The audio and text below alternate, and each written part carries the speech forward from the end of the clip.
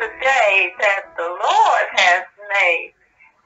We shall rejoice and be glad in it. Hallelujah, hallelujah. To God be the glory for all the good things he's done in our lives. Hallelujah. Praise the Lord. Love you. That's powerful. John uh, 17 is, is, is, is, is called the high priestly prayer. This is a prayer that Jesus was giving to God for us that have received Jesus Christ, our personal Lord and Savior. And like I said, or didn't say, I've said many times before, man who put on the title of Christianity has done some bad things, and we got some history that is bad. We know that. But it's not the church. See, the Bible says a tree is known by its fruits or fruit, right? I said I call something when I said fruits, I know we're talking about the holy, we're talking about the fruits of the spirit, which is love, joy, peace, long suffering, gentleness, goodness, faith, meek, temperance. Against such there is no law. And the fact that we have a commandment. What I'm saying is, but the Bible said that tree is known by its fruit what what I'm saying is that those those anything of history or even today that is short hate and intolerance is not the church. Because the Bible says you'll know the church because of the love we have one another.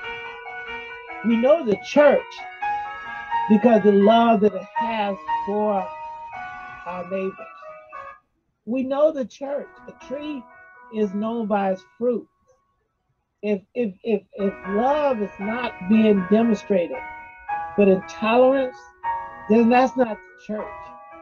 See, it's that characteristic that identify who we are, not what we say we are. There's some people that say they're Christians, but they're not doing the things that a Christian's supposed to do. Let me come off for a second. I will come off for a second, but I got to make sure we get that understanding. A tree is known by its fruit. A tree is known by its fruit. So just because someone say that they are a Christian, but their fruit that they bear is of the flesh and carnality, then they're not what they say. It's almost like it's, it's an ID card. Hey, hi, man, that's a good one too. Look, at all these type of revelation. The fruit of the spirit is an ID card of the church. Yeah, people, please say, say, give me a license, license, give me a driver's license, registration.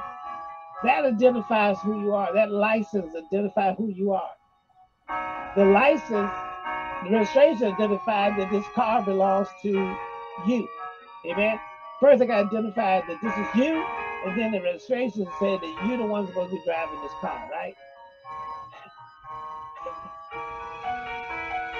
you, we, the church, is identified by the characteristics of the Holy Spirit. That's our identification.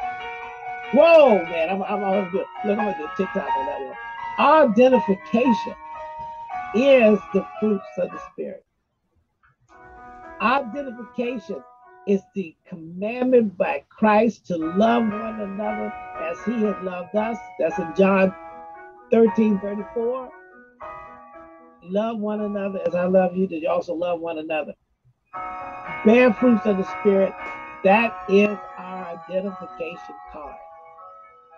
So you can go to whatever church you want to go to. And y'all can sit there and talk about hating people because of the color of skin. You can go sit there and sit a lie and say that these all these people, all of them, all of them act like this way. So therefore I'm gonna treat them that way, and therefore I have the right to hate them. You know that you're not showing the fruits of the spirit. You're not showing the identification card of a Christian. And if you don't show the identification card of a Christian, that means that you're not. Come on now.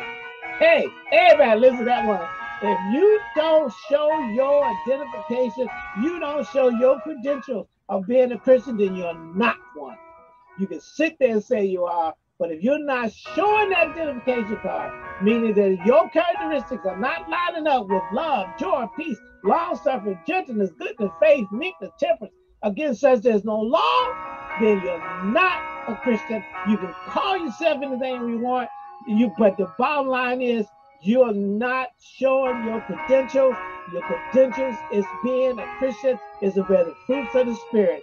And your credentials is confessing that Jesus Christ is personal Lord and Savior, not your pastor, not your church, not your race of people of color skin, not your country, but you're saying that Jesus Christ is my personal Lord and Savior.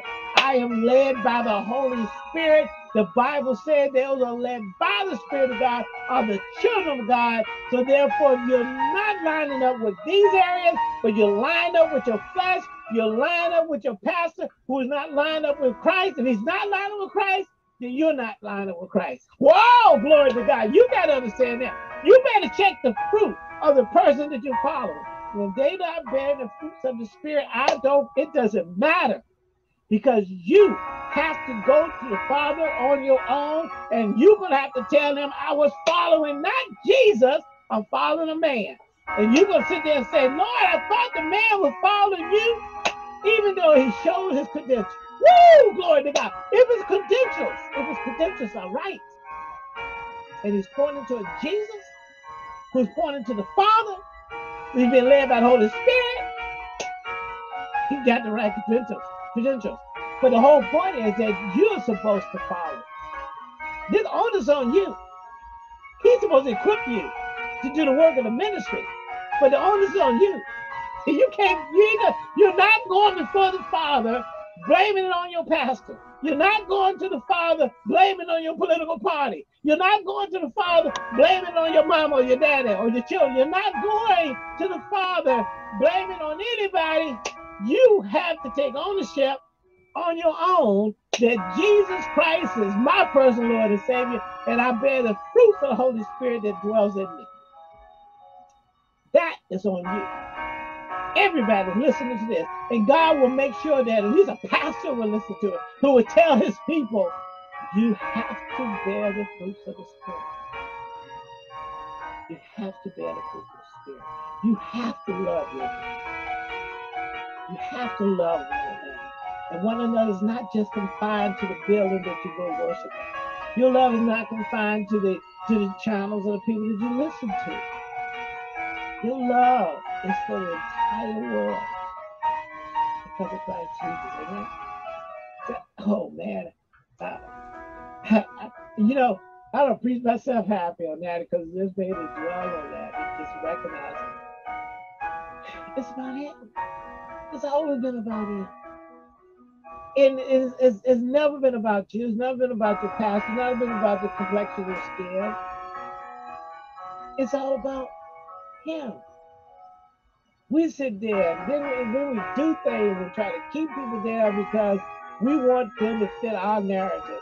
And the narrative is that God so loved the world that He gave His only begotten Son, that whosoever believes in Him shall not perish, but have everlasting life.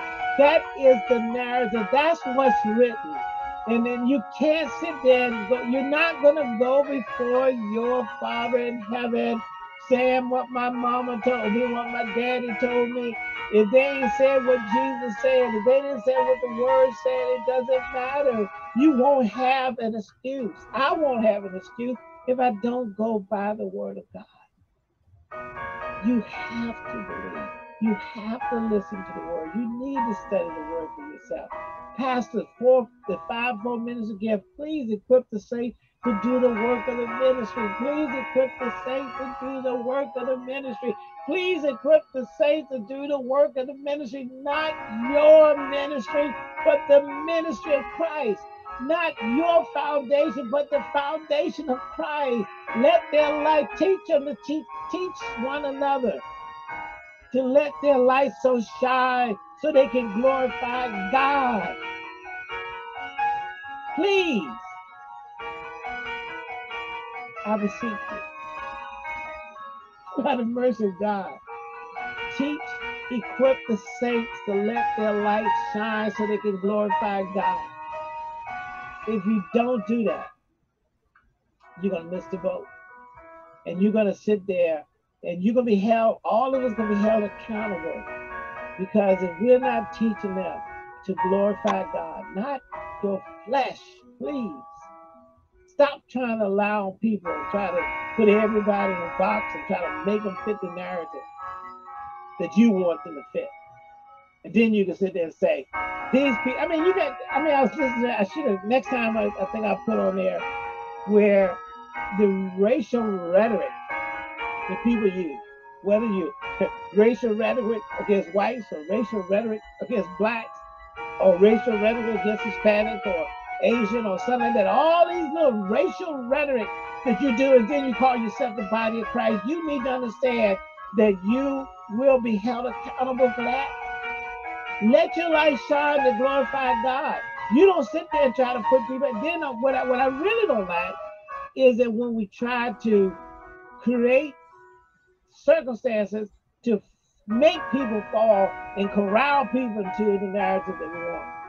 Yeah, we got we got more people in jail in, in, in, in any place in the world because we're so busy trying to corral people into the narrative that we want. We want to put them in an environment that that that will make them devils. Make them. I mean, you these, these cruel environments that we have created. A whole little hell on earth for the prisons we have created. So that those people, you got somebody going there for one year, two years, and they got dealing with somebody, they got life in prison, and they got those people sitting there beating them, raping them, and everything else, or they got to sit there and become just American like everybody else in there so that they, they can survive. And then they still come out eventually, and then they come out worse than they were because that's what we wanted them to be. We want to make them, we want that narrative for them. And that's not what you're supposed to do. You're supposed to make the narrative of Christ. And that's what we're going to read these scriptures in John 17, and we're going to wrap up with that. Amen. Please love one another. It's a highly priestly prayer. These words spake Jesus and lifted up his eyes to heaven and said, This is Jesus' prayer, saints.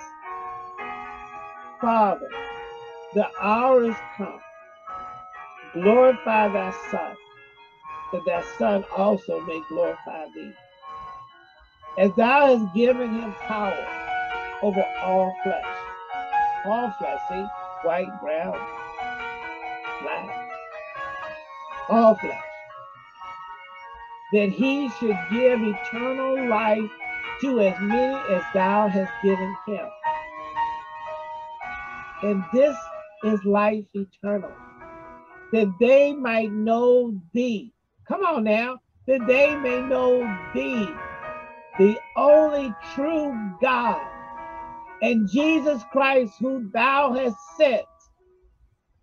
I have glorified thee on the earth. Jesus always trying to glorify the Father. I have finished the work which thou hast given me to do. Hey, glory to God. This is the people. Now we got it, right? And now, O Father, glorify thou me with thy own self, with the glory which I have had with thee before the world was. Come on, say. Listen with Jesus. This is prayer from Jesus. Have manifested thy name unto the men which thou gavest me out of the world. All of us coming to the body of Christ have been manifested. We have come out of the world. We're in this world, we're not of this world.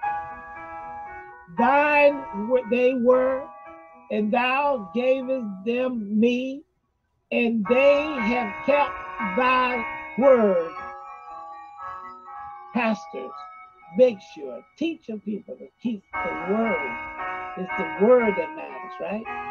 Seven. Now they have known that all things whatsoever thou hast given me are of thee. Everything Jesus has is from God. For I have given them the words. That what makes us one. You can go to one congregation, to another congregation. It's the word of God. He said, For I have given unto them the words that thou gavest me, and they have received them and have known surely that I've come out from thee, and they have believed that thou hast sent me.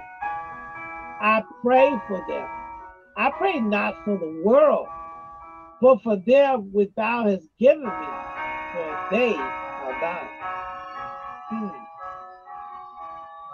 Jesus said, I, I, I pray for them, not for the world. Verse 10 and all mine are thine. Look at Jesus said, just like we should get the point I said, everything we have is God. Wow. And thou mine, and I am glorified in them. Whoa. Did you catch that? Whoa. Did you catch that? He said, I am glorified in them. We're supposed to glorify Jesus. glorify Jesus. Jesus glorified the Father. The Holy Spirit, the Comforter, comes and teaches us so that we can glorify God through Jesus Christ. Jesus said, I am glorified in them. Jesus I'm glorified in them. Are you glorified in Jesus? Are we glorifying Jesus? Are we glorifying our political parties?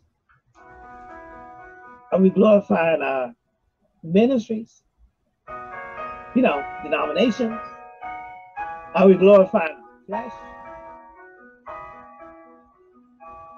Are we allowing people who glorify the flesh to control us? Are we allowing people to be the one that tells us who we are? Are we more concerned about being heard by people and making ourselves please people than pleasing God? Pastors, ministers, body of Christ. Are you more interested in getting approval and glorifying people other than glorifying God? Are you glorifying God? Are you glorifying God or are you glorifying the color of your skin, whether you're white or black or brown? Are you glorifying people based on the political party? Are you trying to glorify your party? Are you trying to glorify your party? Are you trying to glorify your parents, your children? Are you glorifying other anything other than God and His Word, and even in the Ten Commandments, you shall have no other God before me? Are we glorifying the Father in heaven through Jesus Christ? Are we doing that?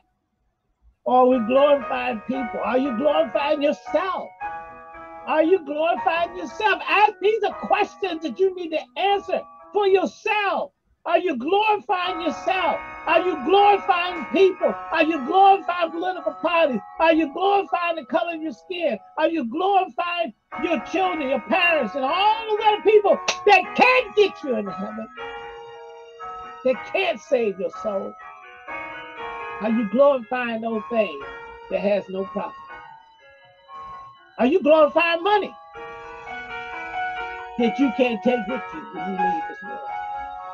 And you can sit there and say, well, I had a good time. I enjoyed myself. I, I had a big old yard and I had a big old mansion. I, I was in a big old building. I had a suite and all that other stuff. You can't take none of that with you. It's going to somebody else when you leave. Will it bring, give you eternal life? You got to think about that. Are you glorifying God? Are you glorifying Christ? Or you glorify yourself. That's what you need to understand. That's what you got to ask yourself. But that's I think that's a very there's a good point from this chapter, man. I'm I'm I'm, I'm not ready to preach myself happy, go about my business. Hey, glory to God, but I got to glorify the Father. So. I,